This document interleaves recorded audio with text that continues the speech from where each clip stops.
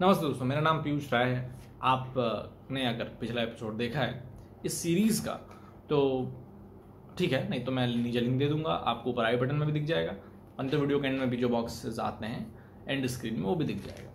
तो आप ज़रूर देखिए, मैं चाहता हूँ कि आप सीक्वेंस में देखेंगे तो आपको कई बातें समझ में आएँगी। खैर, इसका सीक्वेंस से कुछ खास लेना देना नहीं है, आप कभी भी कोई भी वीडियो देख सकते हैं।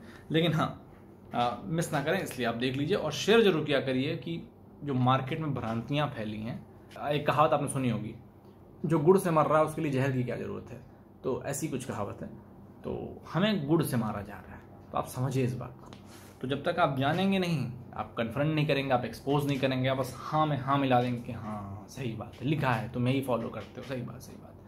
लेकिन उसके आगे और पीछे की दो आयतें नहीं बताएँगे वो लोग। तो मैं वही चुन चुन के लाया हूँ।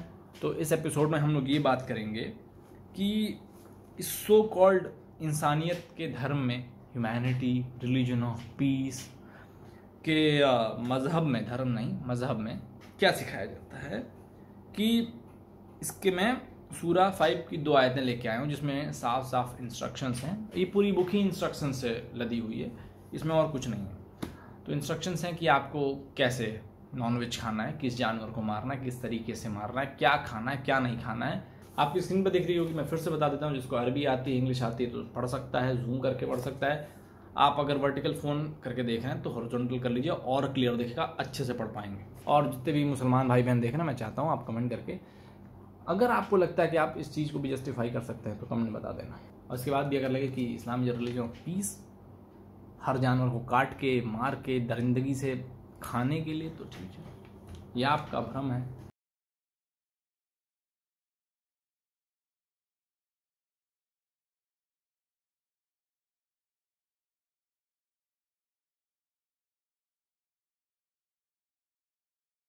तो सूरा फाइव की आयत नंबर तीन। Forbidden to you for food are अल, मती, मैताह the dead animals cattle beasts not slaughtered blood the flesh of swine and that on which Allah's name has not been mentioned while slaughtering मतलब ये सब आपको मना ही। है मतलब अल्लाह का नाम जहाँ नहीं लिखा है स्लॉटर करते वक्त। मतलब क्या ये लोग क्या किसी जानवर को काटते वक्त अल्लाह का नाम लिखते हैं वहाँ पे? और अल्लाह का नाम क्या है? अल्लाह नेम साफ़ साफ़ लिखा है। अल्लाह का नाम क्या है भाई? मुझे बताना, मुझे तो एक ही वर्ड है कि अल्लाह बोलते हैं। अल्लाह का भी नाम होता है कुछ। खैर has not been mentioned while slaughtering that which has been slaughtered as a sacrifice for others than Allah or has been slaughtered for idols idols के लिए या अल्लाह के अलावा किसी और के लिए अगर स्लॉटर किए गए तो आप उन्हें नहीं खाएँगे। And that which has been killed by strangling or by a violent blow or by a headlong fall or by goring of horns and goring of horns and um, that which has been partly eaten by a wild animal unless you are able to slaughter it before its death. And that is which is sacrificed slaughtered on un uh, nusab stone altars ये सब का criterias हैं कि इस criteria में अगर चीज़ें आ रही हैं तो आपको उन्हें नहीं खाना है। Okay forbidden also is to use arrows seeking luck or decision all that is फिस्कन disobedience of Allah and sin this day those who believe them given up all hope of your religion so fear them not but fear me जो मतलब आप यकीन नहीं करते इस्लाम पे, आपके मज़हब पे तो आप उनसे मत डरिए, आप मुझसे डरिए मतलब अल्लाह से डरिए।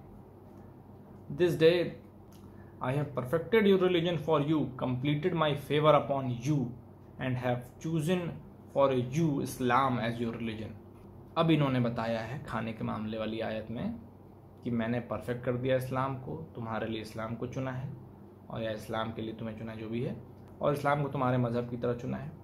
But for him who is forced by severe hunger with no inclination to sin, such can eat these mentioned meats, then surely Allah is often uh, forgiving, most merciful.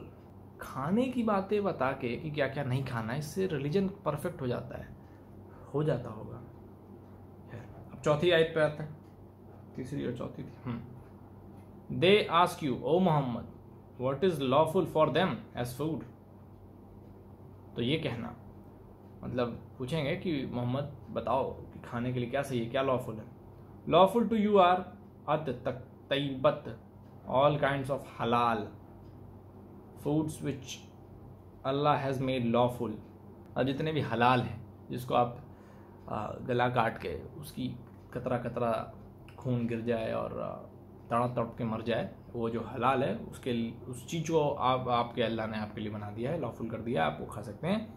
Meat of slaughtered eatable animals milk product fats vegetable and fruits ये सभी mention है। And those beasts and birds of prey which you have trained as hounds training and teaching them to catch in the manner as directed to you by Allah So eat of what they catch for you but pronounce the name of Allah over it. And fear Allah. Verily, Allah is swift in reckoning. तो अल्लाह जी जो हैं उन्होंने अच्छे से guide किया हुआ है और पूरी रेसिपी तैयार करके दी हुई है कि क्या खाना है क्या नहीं खाना है सारे इंस्ट्रक्शंस हैं क्या लीगल है क्या इलीगल है कानून अरे सरिया के हिसाब से कह सकते हैं कुरान के हिसाब से कह सकते हैं तो और मोहम्मद साहब को ये सब बता के भेजा मतलब और कोई काम नहीं है अल्लाह के रसूल यानी हम लोगों में तो अलग कॉन्सेप्ट होता है, भगवान के अवतार होते हैं, वो खुद भगवान ही होते हैं, एक अलग रूप में आते हैं तो अवतार होते हैं, लेकिन अल्लाह ने एक रसूल चुना। इस केस में रसूल कोई भी हो सकता था। रसूल आते गए हैं, इन लोग के जो अलग अलग फ़िरके वो मानते हैं कि सिर्फ़ मोहम्मद ही नहीं, और भी आगे आएँगे, आए होंगे बाद में, और इसलिए दोनों में डिफरेंस है। खैर, उसमें मैं कभी और आ जाऊँगा, फ़िरकों के बारे में, इनके मान्यताओं के बारे में डिफरेंसेस के बारे में, इनके में भी कास्ट सिस्टम होता है, आपको पता नहीं था। तो ये वो रिलीजन है अल्टीमेटली हम इस कंक्लूजन पे आते हैं कि वो रिलीजन है, ये वो मान्यता है, ये वो प्रिंसिपल्स हैं, जो ये कहते हैं कि Islam is a religion of peace humanity और केयर वगैरह वगैरह, हर चीज़ का, इंसानियत का ये मज़हब है। और इस मज़हब में आपको, आपकी किताब में गाइड किया जाता है कि कैसे कैसे जानवर का गला काटना है, हलाल करना है, कैसे खाना है उसको। लोग कहते हैं कि जब इंसान की डेवलपमेंट शुरू हुई थी एंशंट टाइम में, जब कुछ नहीं था ज़ीरो से शुरू हो रहा था, जब इंसान बंदर से ह्यूमन बन रहा था धीरे धीरे इवोल्यूशन हो रहा था, तब उसने जानवर खाना शुरू किया था। लोग इस बात का तर्क देते हैं कि वही चीज़ तो है इसमें। मैं ये कहता हूँ, तब वो जानवर से मनुष्य बन रहा था। उसकी आदतों में था ये करना। उसके बाद कोई चारा नहीं था। वो जानवर की मतलब उस स्पीशीज़ का हिस्सा था। जब इवॉल्व हुआ, उसने सब्सिट्यूट चुने हम ये ना खा के ये खाएँगे। समझ रहे मैं कंपैरिजन यहाँ नहीं करना चाहता कि हिंदू मान्यता में क्या है और इस्लाम में क्या है। ये बहुत ज़मीन आसमान का फ़र्क है। जैसे ये ज़मीन और आसमान एक दूसरे को भी टच नहीं कर सकते, उसी तरीके से इस्लाम और हिंदू मज़हब मज़हब इस्लाम, हिंदू धर्म एक दूसरे की बराबरी कभी नहीं कर सकते। ज़रूरत भी नहीं, ज़रूरत भी नहीं। एक का ना शुरुआत का डेट है ना एंड का डेट है। तो जो चीज़ पैदा ही नहीं हुई, उसके जाने की भी कोई डेट नहीं है। लेकिन जो चीज़ पैदा हुई है, चौदह सौ साल पहले, उसके जाने की भी डेट निश्चित होगी। तो इसलिए कंपैरिजन नहीं हो सकता। लेकिन एक सवाल का जवाब मुझे मुसलमान भाई दे के जाए कि इसमें बहुत सारी आयतें ऐसी हैं जिसको देख के ऐसा लगता है, उस वक्त समाज में बहुत कुछ, पूरी दुनिया में बहुत कुछ घटित हो रहा था, लेकिन अल्लाह ने ये सोचा कि मुसलमानों को ये गाइड करते हैं कि तुम्हें क्या खाना चाहिए, कैसे खाना चाहिए, अल्लाह का नाम लिखा होना चाहिए खाने पे।